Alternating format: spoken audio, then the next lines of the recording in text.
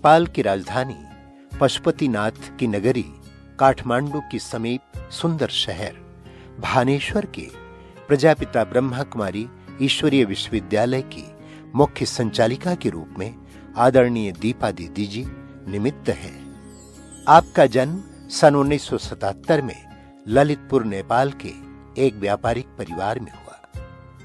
बाल्यकाल से ही आप में सीखने सिखाने की कला, सच्चाई, सफ़ाई बड़ों का आदर सत्कार, ईमानदारी यों परोपकार आदि गुण विशेष है।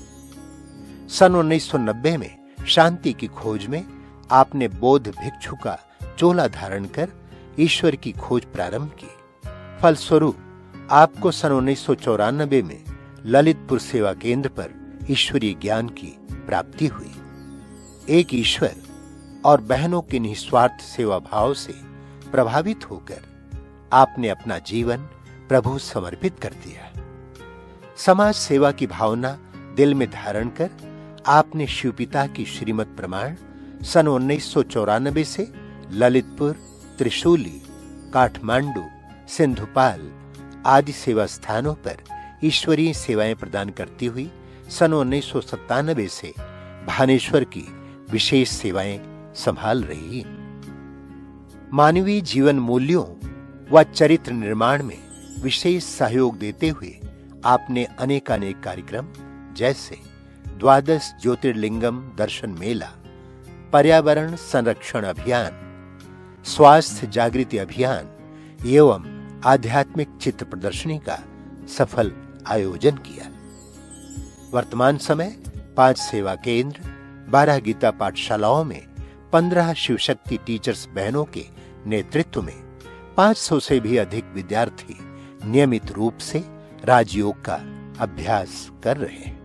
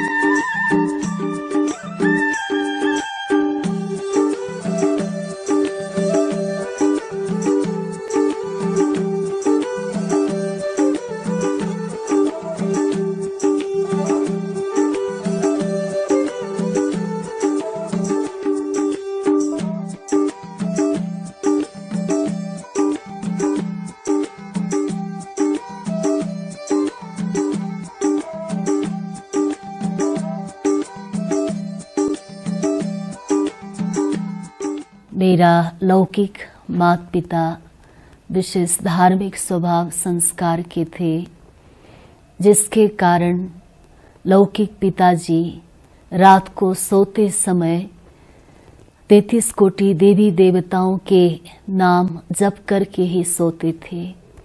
और उस टाइम मुझे लगता था कि आखिर कौन होंगे ये तैतीस कोटि देवी देवताएँ? और माताजी विशेष करके कृष्ण प्रणामी और वैष्णव धर्म से जुड़ी हुई थी। ये होते हुए भी मैं बचपन से ही बुद्धिस्ट स्कूल में पढ़ने के कारण ऑटोमेटिकली बुद्धिस्ट में भी मेरा ध्यान चला गया था। उनके प्रति झुकाव था। ऐसा करते करते मेरे जीवन में जो कुछ भी हुआ, अचानक ही हुआ। और जिसके कारण एक दिन लगभग मैं सिक्स क्लास में पढ़ती थी तो उस टाइम उस टाइम जैसे ही मैं स्कूल में कोई फ़ंक्शन के कारण थोड़ा लेट से घर में वापस आ रही थी तो दो बुद्धिस्ट जो भिक्षुणी जिसको गुरुमा कहते हैं तो उन्हों को देखने से ही मेरे मन में बहुत रिगार्ड का भाव आ गया और मैंने दोनों ही हाथ जोड़ करके उन्हों को नमन किया।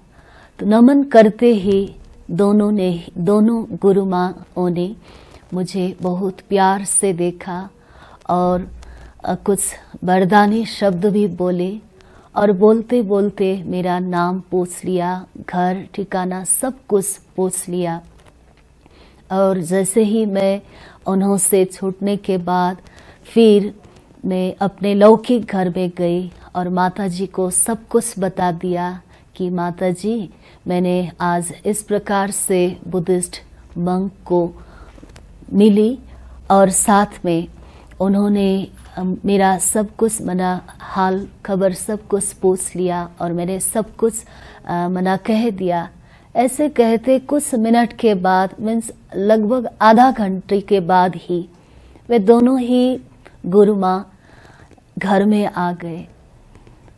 और मुझे इतना खुशी हुआ कि मना जैसे ही वे दोनों ही आ गए तो आने के बाद माता जी से यही बात किया कि अगर हम लोग आपकी बेटी को मांगेंगी तो क्या आप देंगी? तो थोड़ा सा माता जी को मन में आया कि ये तो मेरी बेटी को ही मांग रही है। पर फिर बाद में उन्होंने बहुत प्यार से समझाया। समझाने के बाद फिर माता जी ने कहा कि कोई बात नहीं, अगर मना कुछ सीखेंगी मना, बचपन से ही तो वो भी अच्छा ही है करके, पढ़ाई के लिए ही उन्होंने मांग किया। और मैं भी वहाँ, मैं भी उन्हों को देखने के बाद, उन्हों की बातें सुनने के बाद मुझे अच्छा लगा। और लगभग एक मास तक वहाँ, जैसे कि उन्हों के ही ड्रेस में, जैसे कि प्रबज्जा कहते हैं, वो होके एक मास तक वहीं पर रही। उसके बाद चार साल तक उन्हों की जितने भी पढ़ाई होता था, वो पढ़ाई भी मैंने पढ़ी। और अचानक फिर बुद्धिस्ट में भी जा रही थी और माता जी फिर इसी दौरान में, बीच में क्या हुआ कि माता जी बाबा के ज्ञान में आ गई। तो जैसे ही माता जी ज्ञान में आ गई तो माता जी बहुत सारी बातें बाबा की मुझे सुनाने को आ, सुनाने लगती थी। तो मुझे इतना अच्छा नहीं लगता था क्योंकि मना दोनों का मत ही थोड़ा भिन्न था। जैसे कि बुद्धिस्ट में आँख बंद करके ध्यान करते हैं और बाबा के ज्ञान में आँख खोल के तो ये क्यों इतना अंतर है? ऐसा मेरे मन में लगता ही रहता था। और जैसे कि कुछ गाना बजाना, उसमें मेडिटेशन करना और वहाँ बिल्कुल मना पिन ऑफ़ साइलेंस में याद कर। दोनों के, इन बातों के कारण थोड़ा सा मुझे कैसा कैसा लगता था। बाकी, ज्ञान में आने से, कुछ मास पहले से ही मुझे ऐसा फील होने लगा था। लगभग मैं उस टाइम दस क्लास में पढ़ती थी और उस टाइम मेरे मन के अंदर थोड़ा सा जैसे कि आँखों से देखते तो है, पर आँखों का काम हमेशा देखने का ही क्यों रहा? कानों से सुनते हैं, कान का ही काम क्यों सुनने का हुआ? इस प्रकार से बहुत सारे प्रश्न मेरे मन के अंदर आता ही रहता था। और मैं माता जी से पूछती थी माता जी मेरे मन में क्यों ऐसा प्रश्न आ रहा है? और माता जी सीधा ऐसा ही जवाब दे देती थी कि, तेरे मन में थोड़ा थोड़ा वैराग्य आने लगी है तो अब तू जल्दी ही ज्ञान में चलेगी। पर मुझे नहीं लगता था कि मैं इतना जल्दी ही ज्ञान में आ जाऊँगी। पर फिर अचानक एक दिन क्या हुआ कि लौकिक घर में, जैसे ही मैं स्कूल से लौट रही थी तो घर में ही ब्रह्मा कुमारी बहनें, दीदियाँ विशेष करके घर में आई हुई थी। और उन दीदियों के चेहरे से बहुत सादगी झलक रहा था और इतनी मधुरता उनकी एक एक बाणी में और साथ में बहुत अपनापन का फील हो रहा था। और उसी दिन क्या हुआ था कि स्कूल में कोई सहेली ने कहा कि आज किसी के, किसी दूसरे सहेली के पास कुछ प्रोग्राम है, वहाँ जाना है। तो मुझे कैसे भी करके उस प्रोग्राम में नहीं जाने का था, मन में ठान लिया था कि कैसे भी करके मुझे नहीं जाना है वहाँ। तो ब्रह्मा कुमारी दीदियाँ आ रही थी। तो दीदियों को देखते ही मुझे उन्हों की शीतल दृष्टि, मधुर बाणी और साथ में अपनेपन का बहुत भाषण मिल रहा था। और दीदी जी ने बहुत प्यार से पूछ लिया पूछा था कि, बहन, आप भी कभी कभी सेंटर में आ जाया करो ना? तो मैंने धक से कहा कि, दीदी, अगर मैं आऊँगी तो सदा के लिए ही आऊँगी। तो क्या आप रखेंगी वहाँ पर? तो दीदी ने कहा कि, क्यों नहीं रखूँगी? आ जाओ ना, तब तो रखेंगे। तो मैंने कहा तो फिर आप आज ही ले जाएँगे मुझे? तो दीदी ने कहा हाँ क्यों नहीं? जबकि मेरा उस टाइम भले कोर्स नहीं हुआ था, पर बहुत ही भावना था। तो जिसके कारण उस दिन मुझे दीदी ने साथ में लेके गई और जैसे ही मैं सेंटर में पहुँची तो सेंटर के वातावरण इतना पावरफुल था, इतना पावरफुल जिसके कारण मुझे ऐसा फील हो गया कि मैं बहुत लेट हो गई। बहुत लेट होने के कारण अब मुझे किस प्रकार से यहाँ के जो जितने भी पढ़ाई है उसको मैं कवर करूँ? ऐसा फील हो रहा था और दीदी ने कहा कि अब तुम छुट्टी मिला करके कोर्स करना। क्योंकि मुझे कैसे भी करके उस दिन आ, जैसे कि मुझे उस दिन कैसे भी करके घर में नहीं बैठना था। अगर मैं घर में बैठती तो फिर सहेलियाँ आएँगी साथियाँ आएँगी और साथियों के साथ मुझे जाना पड़ेगा। इस हिसाब से मुझे थोड़ा आ, उसी दिन निकलना था और निकल गई वहाँ से तो सेंटर में सेंटर के वाइब्रेशन के कारण फिर दूसरा मुझे क्या हुआ कि अब कैसे भी करके मुझे जल्दी से जल्दी कोर्स करना है। जैसे ही कोर्स के लिए फ़र्स्ट दिन बाबा के घर में गई तो कोर्स में सबसे पहला लेसन जो आत्मा का था, आत्मा के लेसन पढ़ते ही मुझे जितने भी अंदर बहुत सारी सवाल था, उन सवालों का मुझे जवाब मिल गया। जैसे कि मुझे पहले से ही शिव और शंकर का अंतर भले मालूम नहीं था, पर मुझे आंतरिक रूप से लगता था कि शिव और शंकर एक हो ही नहीं सकता। और साथ में चक्र का ज्ञान भी बहुत अच्छा लगा और कोर्स करते ही, जैसे कि अभी नहीं तो कभी नहीं, ये स्लोगन बहुत दिल से टच हो गया, जिसके कारण इतना मुझे जैसे भी करके, मना इस पढ़ाई को कवर करूँ, ये बार बार फील होता था और इस प्रकार से मेरा ज्ञान में आना हुआ और उसी टाइम मेरा थोड़ा विंटर वैकेशन का टाइम भी था। तो उसी टाइम दीदी ने मुझे फिर सेंटर में कुछ दिन ऐसे ही छुट्टी के टाइम में रहने के लिए कहा। बस गई थी मैं केवल एक सप्ताह के लिए। जैसे ही सप्ताह पूरा हो गया और मैं घर में लौटने के लिए मेरी माती जी गई थी। और जैसे ही माता जी वहाँ पर गई तो माता जी ने कहा, अब चलो। मैंने कहा हाँ चलना ही है। पर उसी टाइम दीदी ने मुझे ऐसा पूछा कि, क्या तुम सचमुच जाओगी? तो मैंने कहा हाँ दीदी, मैं तो जाऊँगी, मैं तो जाऊँगी। करके ही फिर अचानक क्या हुआ कि मेरे मन में दीदी भी ऐसे कह रही हैं और मेरा आंतरिक रूप में तो मन था ही था। यही डर था कि कहीं माता जी मुझे छुट्टी नहीं देंगी तो बाकी एक धक से छुट्टी दे दिया कि माता जी ने, अगर तू रहना चाहोगी तो रह सकती हो, पर फिर पीछे मुझे कुछ नहीं कहना कि मैंने कुछ तुमको प्रेशर में मना की रखी सेंटर में रहने के लिए। तो मैंने कहा हाँ मैं कुछ भी नहीं कहूँगी। इस प्रकार से मेरा मेरा लौकिक से अलौकिक जीवन मिला और अलौकिक जीवन में अलौकिक जीवन अलौकिक यात्रा वहाँ से ही मेरा शुभारंभ हुआ। और जैसे ही मैं बाबा के ज्ञान में आई तो मैंने आ, मुझे मेरे आंतरिक रूप से यही रुचि था कि विशेष करके कैसे भी करके कोई भी बात सीख लूँ और सबको बहुत प्यार से सिखाऊं।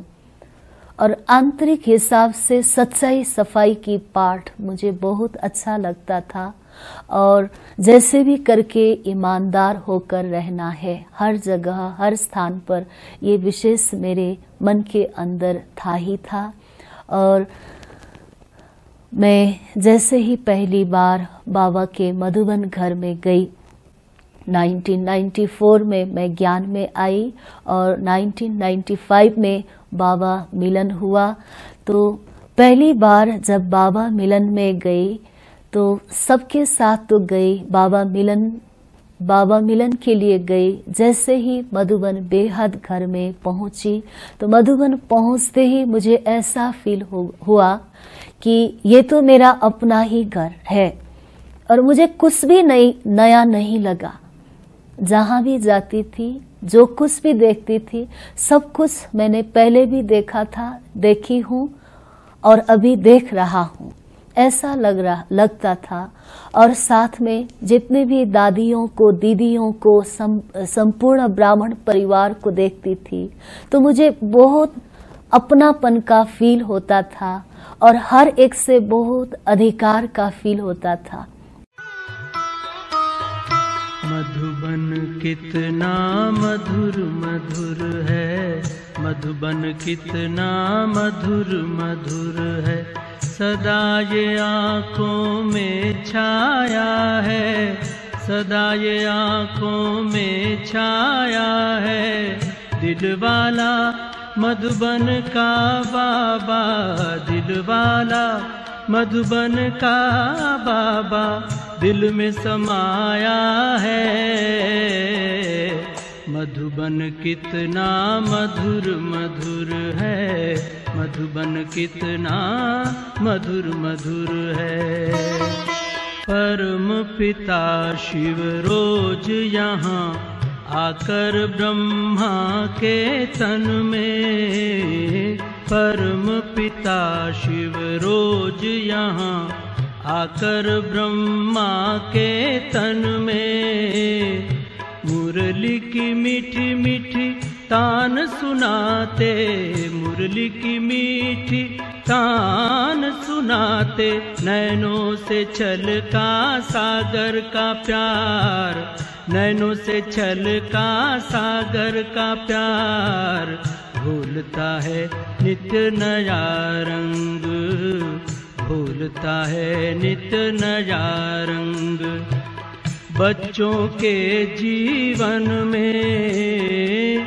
दिल वाला मधुबन का बाबा दिलवाला मधुबन का बाबा दिल में समाया है। मधुबन कितना मधुर मधुर है मधुबन कितना मधुर मधुर है। बाबा, कभी भी मुझे कोई भी चीज़ की मना, कभी भी कोई भी कंफ्यूजन में बाबा ने नहीं रखा। समय प्रति समय शिव बाबा ही माँ बन करके भी मुझे पालना दिया है। साथी बन करके भी पालना दिया है। जैसे कि साजन बन करके भी बाबा ने पालना दिया है। मीन्स सर्व संबंधों की इतनी अच्छी तरह से अनुभव है इसलिए बाबा को किन शब्दों से थैंक्स दूँ मेरे अंदर कोई ऐसा शब्द ही नहीं है उसी प्रकार बाप समान दादियों के प्यार में भी कोई कमी नहीं है दादी दादी गाए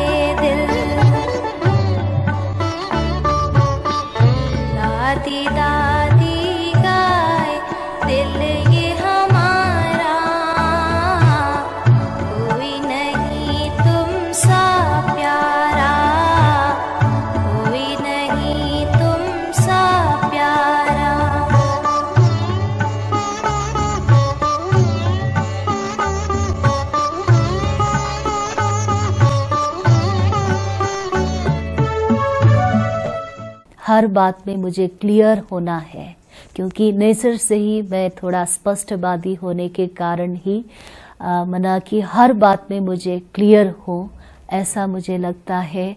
और साथ में कभी भी मेरे कारण से बड़ों को टेंशन लेना न पड़े हमेशा बड़े निश्चिंत रहें और यज्ञ के प्रति वफादार रहूँ। कि आज तक मैंने दस वर्ष दस वर्ष पहले से मैं जानता हूँ दीपा दीदी को, लेकिन दस वर्ष में मैंने कभी भी उनको तनाव में स्ट्रेस में नहीं देखा। कभी भी मैंने उनको गुस्सा में नहीं देखा, जबकि वो बहुत बड़े बड़े प्रोग्राम ऑर्गेनाइज करते हैं। दीपा दीदी के दिल में एक बाबा दूसरा न कोई and she is very gentle and very kind because during the discourses of Raj Yoga also I used to ask her question, she used to reply me. And another thing I liked about her is she can supervise all these people. So many people are there, but then she is there as a leader.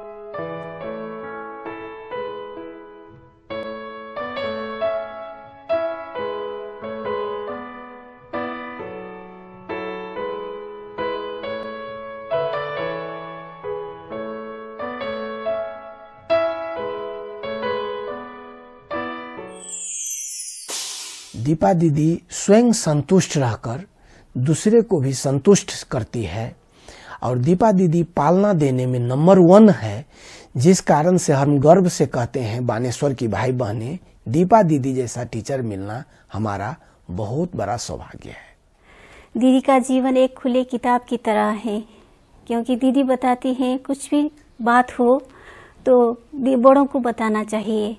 और दीदी यही करती है, जो कुछ भी होता है, बड़ों को कहकर वो हल्का होती है और यही हमको भी सिखाती है। माँ की ममता की कोई मोल नहीं होती, माँ की पालना की कोई मोल नहीं होती, कुछ रिश्तों का कोई तोल नहीं होती।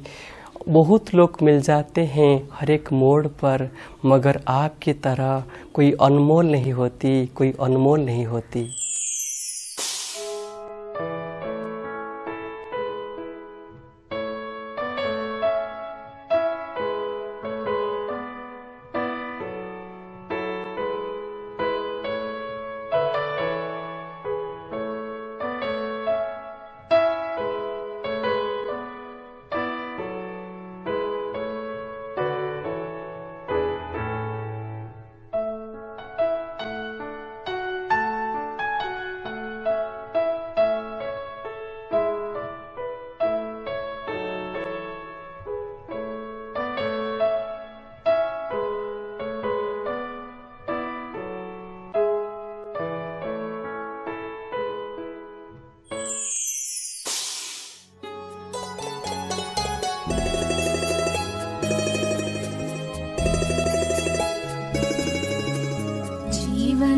के दाता सांसों।